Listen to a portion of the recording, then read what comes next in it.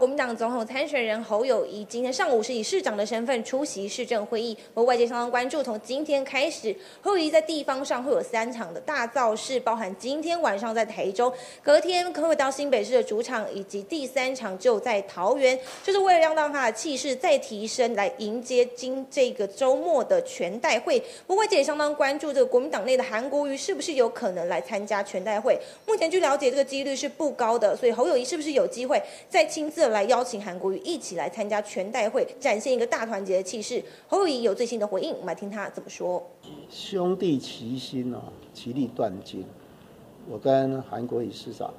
都会同心面对，我们都是为中华民国一起打拼努力。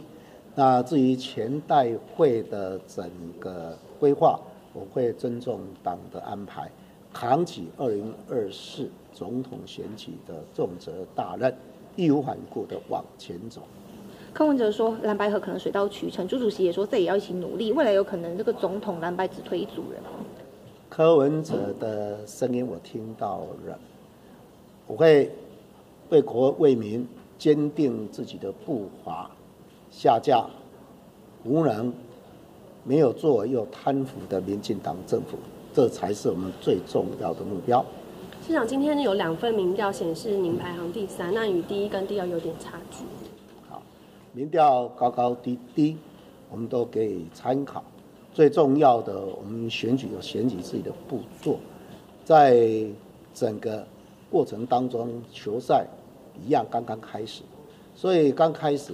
我们一定会不断的去强化我们自己的战力，最后我们一定会赢得胜利，逆转胜。好，不外界频频点名，这一次再也要如何来下架民进党二零二四政党轮替，大家都提到说应该要蓝白合，而对此柯文哲是提到说呢，可能可以水到渠成。而国民党党主席朱立伦则是说呢，希望可大家可以一起好好的合作，是不是蓝白合还有机会呢？侯友谊则是提到说呢，他会听，他已经听到了柯文哲的话，他会好好的来下架民进党。